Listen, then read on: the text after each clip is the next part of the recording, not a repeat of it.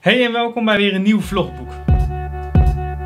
Mijn naam is Barend en vandaag ga ik denk ik ehm, de moeilijkste vlogboek, althans voor mij maken, die ik nou, in een hele lange tijd ga maken.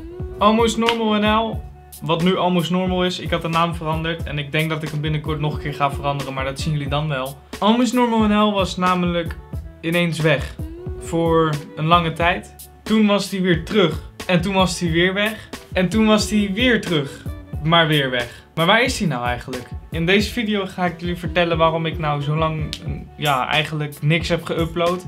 En waar dit allemaal te maken mee had en whatsoever. Ik ben Almost Normal NL begonnen als een Minecraft kanaal. En op het moment toen ik dat maakte was ik uh, echt een hele diehard Minecraft fan. Zo maakte ik vet veel Minecraft video's. Heb ik het voor elkaar gekregen om op Dus David Games een fucking nice serie te doen van het DDG parcours bouwen. Shout-out naar de mensen die kijken en die dat ook weten. En tijdens die serie ben ik enorm gegroeid op mijn eigen kanaal. En heb ik zo best wel wat abonnees erbij gekregen. Ik had altijd ook al het gevoel van, hé, hey, ik wil wat meer met camera doen. Ik vond op het moment toen Bardo enorm leuk. Toen was volgens mij dus David zelfs nog uh, gaande. Dat vond ik heel leuk. Dit is Milan, was ik vet fan van. En uh, er waren gewoon heel veel meer kanalen zoals dit wat ik nu doe.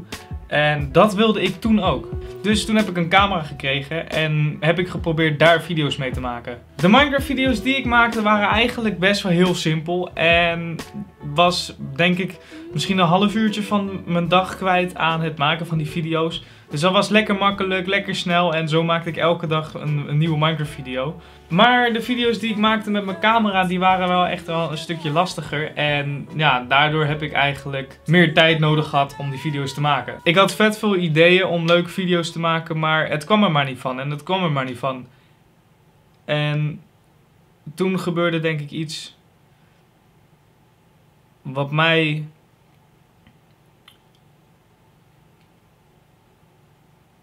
Ja, toen gebeurde er iets enorm kuts. Ik ben ehm, helaas vier jaar geleden inmiddels ehm, mijn moeder verloren aan kanker. En dit heeft mij ehm, onbewust, denk ik, heel erg kapot gemaakt. Op dat moment was ik met mijn Minecraft video's best wel booming en had ik best wel wat kijkers. En was dit voor mij echt een uitweg van de realiteit. Het maken van die YouTube video's en het gamen en alles eromheen.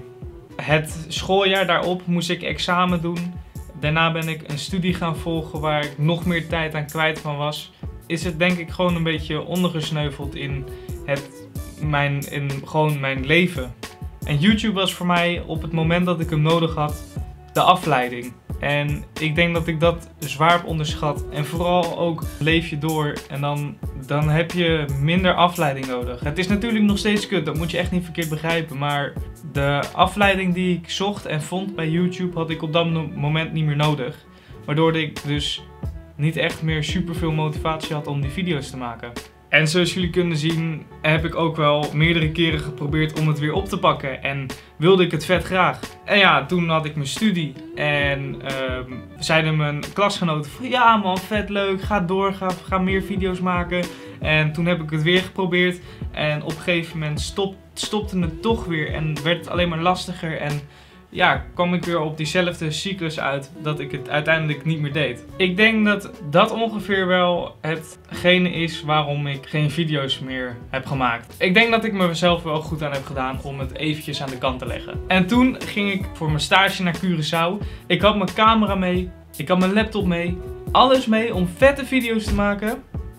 En na twee weken ging mijn laptop kapot. Nice. Ik heb echt mijn hele, een half jaar lang in Curaçao gezeten en ik heb amper video's kunnen maken. Ik heb wel wat video's op mijn computer staan, dat gaan we ook natuurlijk zien in de vlogboek. Maar dat is dan op een ander moment. En ik uh, wilde dus eigenlijk echt gaan vloggen in Curaçao, maar dat is er dus nooit van gekomen helaas. Maar ja. En nu ben ik klaar met mijn opleiding, ik ben gewoon geslaagd en ik ben nu even fulltime aan het werk, want ik wil gewoon een vette reis gaan maken. Ik wil heel graag naar Amerika en um, wie weet kan ik dat samen met jullie doen. Ik ben dus nu elke week gewoon vet hard aan het werk. En ik heb minder vrije tijd. En het is wel echt een wen wennen aan, aan het, echte werkleven, zeg maar. Maar ik vind het best wel leuk. En ja, ik denk dat ik het ook nog wel even vol kan houden. Dat is maar goed ook, want ik moet tot mijn 67ste. En toen dacht ik in één keer mijn oma die zei tegen mij: Je moet opschrijven over wat je op zo'n dag beleeft. Want ik beleef vet veel dingen. En toen dacht ik van: Nou, weet je wat? Ik ga er gewoon een video van maken. En ik ga jullie meenemen in mijn leven. En het is gewoon voor mij ook een push om echt video's te maken. Want nu kan het weer en nou, ik vind het echt wel heel tof. Ik zei het gisteren ook, maar ik vind het echt heel tof om dit allemaal zo op één te krijgen. En dat het allemaal ook lukt. Ik moet zeggen, ik heb nog wel moeite met het maken van de video's en um, waarover en zo. Maar ik denk dat dat met de tijd wel zal komen. En ik ben echt wel benieuwd wat we met dit vlogboek kunnen gaan doen en waar we kunnen komen. Dus ja, dat is een beetje het verhaal van Almost Normal NL. En, um, maar dat is geweest en nu is nu en straks is straks. En dat zei ik gisteren ook tegen iemand die het kijkt waarschijnlijk. Shout-out naar jou. Maar wij gaan er gewoon een hele vette tijd van maken. En daar kunnen jullie natuurlijk bij helpen door dat blauwe duimpje omhoog te doen. Maar ja, ik zie jullie dan heel snel weer. Namelijk morgen. En dan is er weer een nieuwe week. En weer een nieuwe week om nieuwe kansen te zien en te pakken. En dan gaan we er gewoon voor. En om te bewijzen dat ik een echte YouTuber ben en dit volgehouden, ga ik nu een koppel doen over mijn bed heen. Ik kan geen koppel meer. Sick.